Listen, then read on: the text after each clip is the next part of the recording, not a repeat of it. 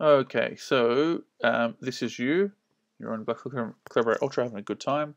Now, if you're going to be sharing a file, the moderator, as in the person starting the class, so in this case me, um, should be should have set you as a presenter. So if we look here, um, we've got the moderator, so that's me, and then we've got the presenter, someone who's been turned into a presenter, that's not me, clearly. Now what you'll notice is there's this, this button here will pop up, the share content button, which you may not have seen in the past. So we click on that, and what we're looking at here is to share files. And it'll say, here's a bunch of files that are already in here, but we will click and add a file. What can we add? Here's a uh, an image, great. I'm not 100% sure what the image is, but you'll see it'll say uploading, uploading, uploading, and then it'll say that's what it is. So we click on that, click share now, and um, oh, there we go. Now to stop sharing, you click this stop button here, up in the top corner. If you're going to use, a, use to share something like a PowerPoint, um,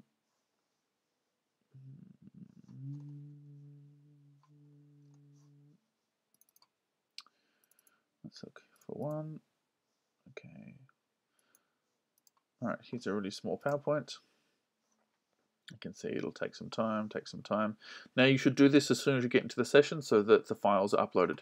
Now what the moderator can see is all the files that have been uploaded. So put your name at the beginning so they of the file name so that they know whose is what and they can access it. You should also be able to see what everyone else is uh, presenting as well. So you'll have access to all those different things. Okay. Takes a bit of time to convert. So you can see why it's important to do this early.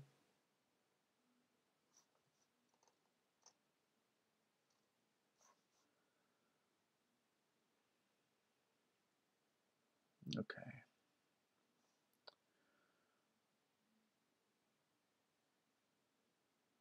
Take some time, take some time, bing, perfect. Okay, there we are. Now you can see it's there's 34 pages, now it's highlighted, so now it's highlighted. Click share now and it'll ask you which slide, select a slide to begin sharing. So let's look at the first slide here. And you can use these pointer buttons here to walk um, through the presentation. Okay, so again, to stop sharing, we just click stop. And that, my friends, is how you do it.